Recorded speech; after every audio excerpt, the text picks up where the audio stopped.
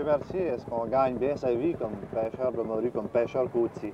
C'est attendu qu'il faut y voir, puis il faut aimer ça. Mais normalement, un homme gagne bien sa vie l'été. On pêche à peu près cinq mois dans le plus.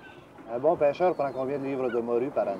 À la petite ligne, là, comme on dit, là, ici est pris, ici, 65 000. Les journées sont longues comme pêcheur de morue? Les journées sont vraiment assez longues quand il y a la morue.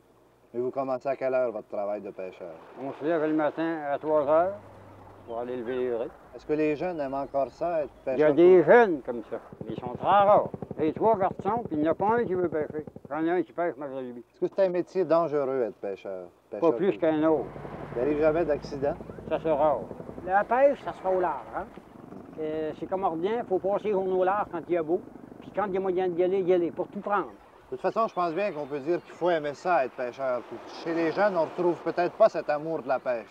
Ils ne trouvent pas l'amour de la pêche parce qu'ils n'ont pas connu ce que c'était que la pêche. S'ils avaient eu connu ce que c'était que la pêche à la rame, et puis faire chasser de la morue, mettre les barres à terre, dans le laisse, aujourd'hui, on part bien de ça.